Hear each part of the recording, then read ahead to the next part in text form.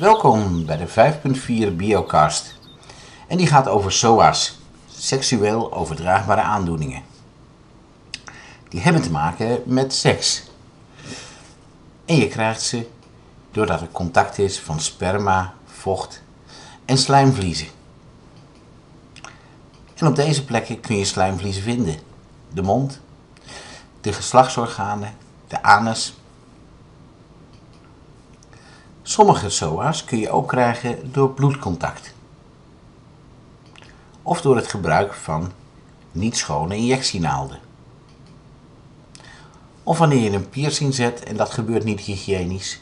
Of wanneer er een tattoo gezet wordt. Dus niet alleen seksueel overdraagbaar dus. En wat betekent nou eigenlijk veilig vrijen? Dat is iets wat je in deze periode gaat uitzoeken. Er is een heel aantal SOA's en die moet je kennen.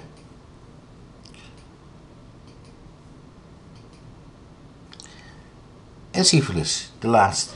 Van deze SOA's moet je kennen, moet je weten wat ze betekenen. Je moet weten of ze veroorzaakt worden door een virus, door een bacterie of door een parasiet. Je moet weten wat de symptomen zijn, dus waaraan je kunt merken dat je de ziekte hebt. Maar ook moet je weten wat de gevolgen zijn. Wat gebeurt er als je die ziekte hebt? We gaan naar eh, één speciale SOA wat meer in detail kijken. Die wordt veroorzaakt door een virus. En dat is HIV. Als je besmet bent met het virus en dus antistoffen in je bloed hebt, ben je seropositief. En het HIV-virus valt de witte bloedcellen aan en dat zorgt ervoor dat je na een poos aids krijgt. Nou zijn er gelukkig tegenwoordig aidsremmers. En aidsremmers zorgen ervoor dat de stap van HIV naar aids wordt uitgesteld. Maar het blijft een chronische ziekte, want je blijft medicijnen moeten slikken. Je kunt besmet raken niet alleen via seksueel contact, maar ook via bloedcontact. Door het gebruik van eh, niet-steriele injectienaalden.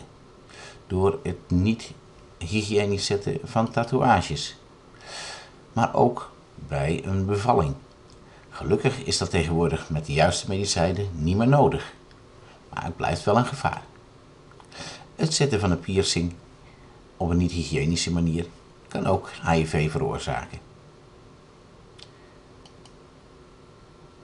Hier zie je de gevallen, de aantallen aids-slachtoffers in de wereld. Hoe donkerder rood, hoe meer slachtoffers er zijn. En je ziet dat vooral in Zuid-Afrika, maar ook in Rusland, de problemen groot zijn. Dit was hem alweer, de 5.4 Biocast. Veel succes met studeren en tot de volgende keer.